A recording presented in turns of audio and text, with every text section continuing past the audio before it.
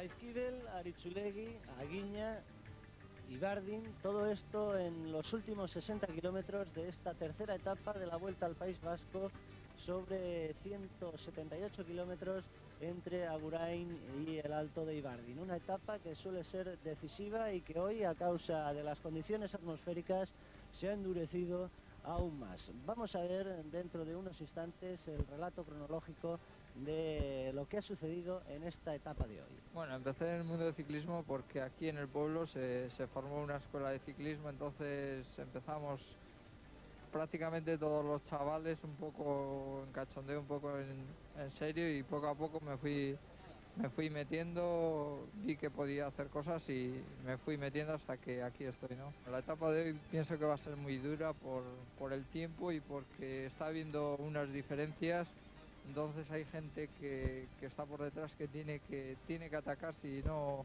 ya pierde toda posibilidad, entonces pienso que va a ser una, una etapa muy dura. Tenía razón Javier Murbialday, el corredor del equipo Seguros Amaya, un hombre que hoy salía de su propia casa, de Salvatierra, porque una ligera nevada, la lluvia, el granizo y el frío, sobre todo quizá el frío, han azotado continuamente a los corredores que han afrontado esta etapa reina de la Vuelta al País Vasco. Se iniciaba, a pesar de todo, con muchas ganas.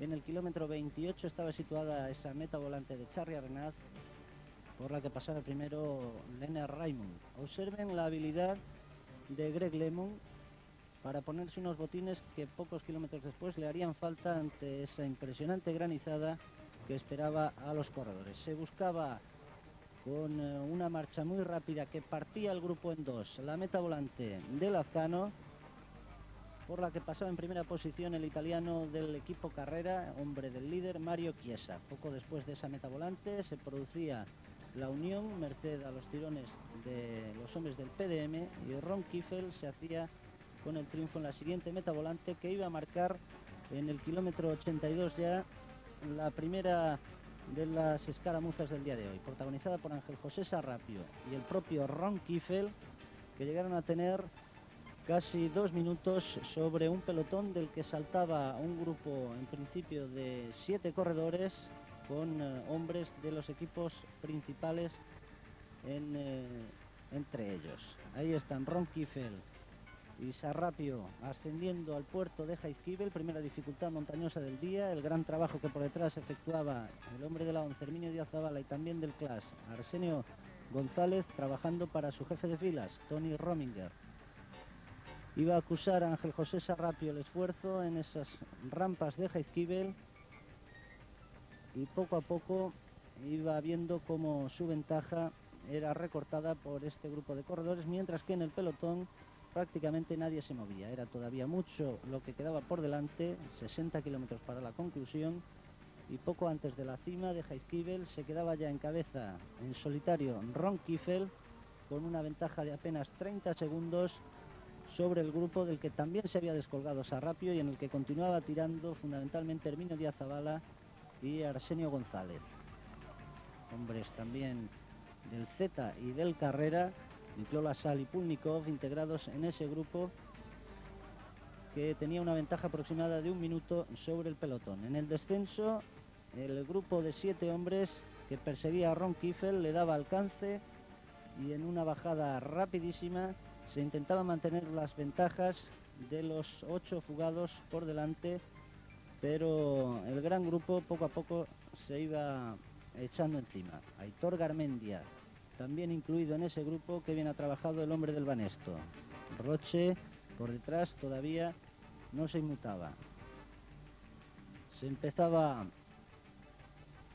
a, ascender el segundo puerto, el de Arichulegui. Unos kilómetros antes quedaban en solitario Herminio Díaz Zavala y el joven Aitor Garmendia, mientras que por detrás el resto de hombres eran alcanzados. Ahí está Herminio Díaz Zavala, Aitor Garmendia trabajando para la 11 y para el Banesto.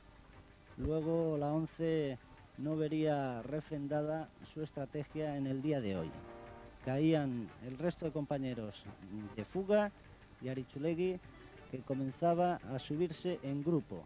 Remitía en su esfuerzo también Herminio Díaz Zavala Poco después, ya fatigado Aitor Garmendia también caía en manos de un grupo integrado por Alcalá, Alex Zule, Unzaga, Rominger, Gorospe y en el que posteriormente entraría mm, Roche dando cumplida réplica al ataque de Tony Rominger.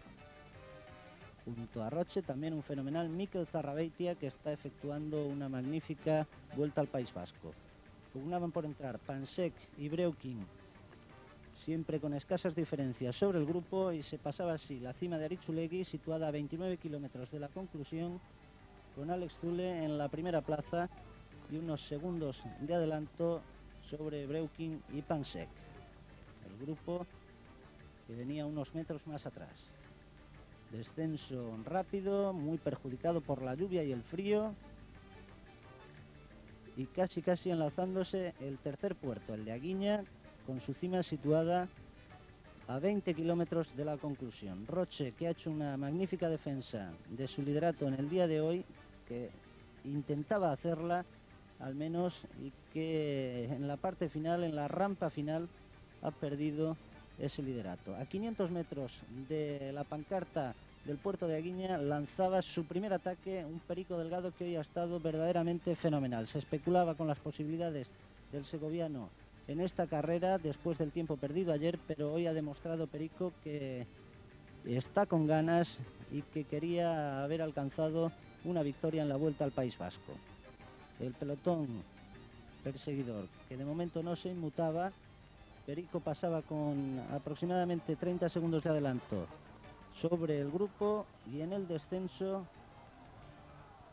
también, eh, como todos los que ha habido hoy, rapidísimos, y bastante peligroso, con una cartera en eh, un estado no muy bueno, sorprendía este hombre, Stephen Roche, que se lanzaba detrás del segoviano. Recordaban las imágenes que veíamos hoy, las de aquel Tour de 1987, en la que Roche le ganó prácticamente el Tour a Perico Delgado y los dos obtenían una ventaja que se aproximaba a los 15 segundos sobre el grupo que se veía sorprendido en estos 20 kilómetros finales. La conversación de Perico con Roche pidiéndole quizá explicaciones porque esa escapada no beneficiaba en nada los intereses de Perico Delgado, por detrás se iba a tirar muy fuerte y así lo hacían los hombres del equipo Clas Cajas Tour, los hombres de Tony Rominger, cuando quedaban menos de 10 kilómetros para la conclusión se iba camino de Vera de Vidaso. Ahí tienen a Federico Chávez, a Iñaki Gastón, qué fenomenal trabajo han realizado los dos vizcaínos en eh, favorecer, para favorecer los intereses de Tony Rominger. A la salida de Vera de Vidasoa se iniciaba ya el ascenso al último puerto, al de Ibardin, y observen ese perro a punto ha estado de causar eh, un accidente a Rominger y Delgado, a los que enseguida se les iba a unir prácticamente a 5 kilómetros para la conclusión Iñaki Gastón. También fenomenal hacía de cabeza de puente Iñaki Gastón. Con el grupo perseguidor, siempre las ventajas oscilando en torno a los 10-15 segundos y como ahí no veía beneficio. Pedro Delgado lo intentaba de nuevo, esta vez Roche ya se quedaba, eso podía dar mayor garantía a la escapada de Delgado, solo respondida por Iñaki Gastón. Apenas 7 segundos era la ventaja cuando quedaban 3 kilómetros y medio para el final de Delgado y Gastón. Enseguida el grupo, todavía con hombres de la 11, se les echaba encima, Brunel y Alex Zule prácticamente, y observen cómo de nuevo por tercera vez intentaba el segoviano irse adelante. Ahora sí, en solitario le iba a ser ya más fácil. Parecía cuando quedaban dos kilómetros para la conclusión que tenía todo a su favor Perico Delgado para hacerse con el triunfo en Ibardin, pero le llegó este hombre, Udo Bolz, el alemán del equipo Telecom. En principio el ataque del corredor alemán se fue a su rueda Perico Delgado, por detrás ya el interés estaba en ver qué sucedía entre Rominger y Roche. Y iban a enfilar el último kilómetro Udo Bolz y Perico Delgado en solitario a dúo para disputarse el triunfo final. Las fuerzas, las pocas fuerzas que quedaban después del durísimo día de hoy van a ser fundamentales en la última rampa. Ahí Perico no pudo y la victoria para Udo Bolts con tres segundos de ventaja sobre un Perico Delgado que hoy quizá mereció bastante mejor suerte que ese segundo puesto en la clasificación. Por detrás el grupo con Tony Rominger que lo encabezaba. En principio se iba a dar el mismo tiempo a todos los hombres, pero observen cómo ahí se produce un corte en la llegada de Iñaki Gastón en el grupo que venía Stephen Roche. Posteriormente, después de la reclamación de Juan Fernández, se producía la rectificación. Ahí vemos de nuevo y se daba tres segundos de diferencia entre Tony Rominger y Roche. Por lo cual, a pesar de que Roche se vestía el jersey amarillo protocolario, el nuevo líder de la Vuelta al País Vasco es Tony Rominger. La explicación de la etapa de hoy, Pedro Delgado nos la da. ¿Cómo vio Pedro Delgado el desarrollo de esta etapa reina de la Vuelta al País Vasco? Bueno, realmente yo creo que hoy se ha, ido muy rápido. Etapa reina es un poco porque tiene una encol, porque yo creo que tanto ayer como la etapa de mañana van a ser muy duras, ¿no?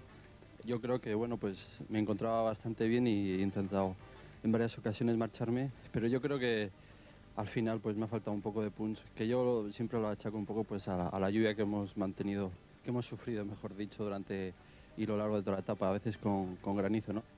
Lástima esa victoria que se le ha escapado a Pedro Delgado, que ha quedado a 4 segundos de Bolts, a 12 Tony Rominger, la nueva clasificación general, encabezada por el suizo del equipo Class Cajas Tour, a 3 segundos está Roche, a 7 Gorospe y a 10 segundos quedan Pansek y Alcalá. Eric Breuking, otro de los favoritos para el triunfo final, está a 53 segundos. Mañana, cuarta etapa entre Vera de Vidasoa y Abadiño, con tres puertos de primera categoría, el Osúa, el Gueta y Urquiola. Se lo contaremos mañana porque esta vuelta al País Vasco está emocionantísima.